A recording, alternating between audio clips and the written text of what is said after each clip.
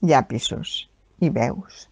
Dibuixo i dibuixo, mentre la ràdio parla i parla, ondes capritxoses que pugen i baixen de nivell, introduint-se dins meu, seduint-me perquè els hi presti atenció.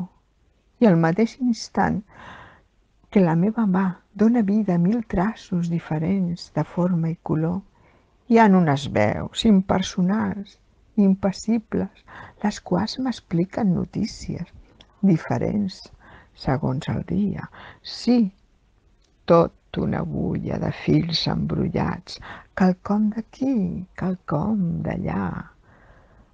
Aleshores, de repent, el meu pobre cap es transforma en un niu de línies gruixudes i fines i de veus amartellant els meus sentits. I de sobte ho deixo caure tot d'una punyetera vegada, alço el cap amb força i energia i dic prou. Ja n'hi ha prou. Mari.